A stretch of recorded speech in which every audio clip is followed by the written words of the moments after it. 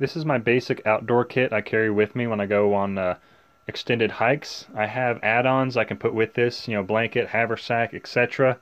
This is just, you know, the basic, you know, that I would carry with me for an extended hike.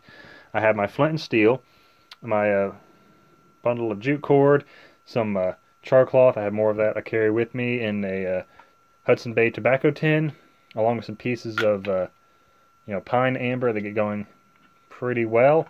I like this tin because it has a lens in the cap that you can use in case, you know, you miss your piece of flint somewhere, you drop it, and um, use that to get a fire going effectively. I have some extra, you know, jute cord and a little, little piece of flint up in here that I carry as extra. Uh, with this, I also have my, it's like a little leather wallet, you know, spare piece of flint, a wooden spoon, a, you know, fairly basic penannular brooch that I made for myself. It's really good for, like, pinning a blanket together to throw over my shoulders to make kind of a rudimentary cloak. I have uh, an extra magnifying glass that I can use in case, you know, something happens to my tobacco tin. I have my Alpine, you know, mess kit kind of deal. It's the small one. I have a spoon that fits with it that, you know, stays right in place when I lock it down. I can't remember where I got the spoon, but it is a godsend.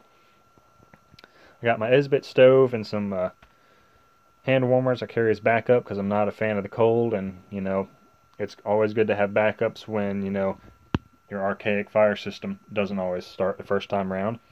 Got a pocket knife, a uh, kind of a flashlight. It had a headband with it several years ago, but it disintegrated, so I just kind of carry it as a flashlight now because it's, you know, puts out a lot of light despite being pretty compact.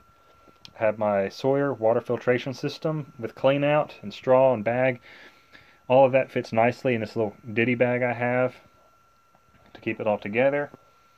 I have my battle horse knife. Cannot remember off the top of my head which um, model this one is. Um, it's been patinaed with vinegar. You know, gives a nice, you know, dark blade to it. It's been rust resistant for, you know, a couple years now with, you know, moderate use. I have a uh, fire steel rod, you know, in case everything else stops working. Just a generic, you know, military belt pouch, MOLLE pouch. It's got two compartments to it. It contains, you know, the majority of this kit. The my tinder box and stuff goes into this leather pouch that I believe I got from a, um, a Renaissance fair at some point. Cannot remember for sure. And then finally, I have my 1937 uh, British Army canteen. The canteen itself is original. It's in great shape. The uh, the webbing on it is more or less I believe the uh, strap around the canteen itself is original, but the carry strap is reproduction. You know, being that it's in such good shape, I have a problem, you know, keeping it on the shelf instead of, you know, using it for what it was intended to use. There's lots of these in museums, so I do not feel, you know, bothered taking it out. I take very good care of my stuff. You know, I would not I would not use this in a rough manner to cause it any kind of damage. And uh, this is my basic kit that I carry. So, you know, if uh, you're interested in any of this, like and subscribe. I'm going to be doing, you know, relatively short videos, just kind of reviewing my gear and going on camping trips and such like that. And, um, you know, let me know what you think. Thanks for watching.